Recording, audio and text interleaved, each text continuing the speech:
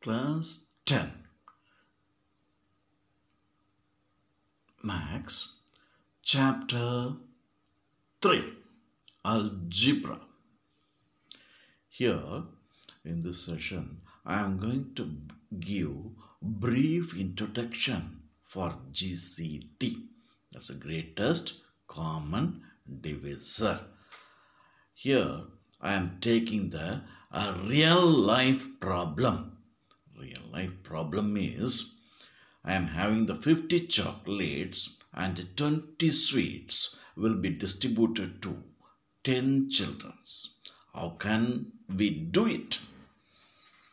Yes. 50 is divided by 10. That's a 50 chocolates is divided by number of child 10. That's nothing but 5. And 20 sweets divided by 10 children's is equivalent to 2. So we will distribute 5 chocolates and 2 sweets to the each one of the children. 10 is the GCD of given numbers. Next thing is I am going to deal how to find the factors for 50 and 20. 50 factors are we have to find out factors of 50. 50 is divided by 2. Then 50 is even number, so it is divided by 2. 50 divided by 2 is nothing but 25. Then 25 is the odd number, so it is divided by 5. That's a 25 divided by 5. 5 5s are 25. Then 5 is brought in. And then 5 is also a odd number.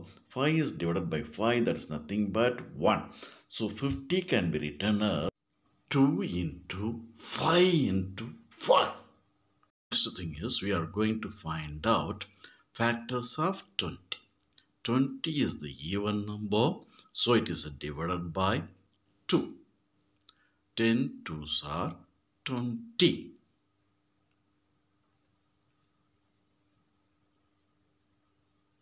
Here 10 is brought down.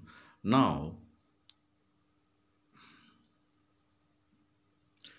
10 is the even number.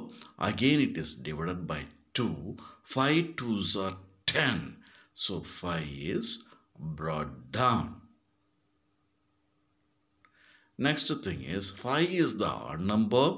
5 can be divided by 5 is nothing but 1 5s are 5. So 20 can be written as 2 into 2 into 5. Here between this 50 and 20 common numbers are 5 into 2. So GCD of 50 and 20 is 10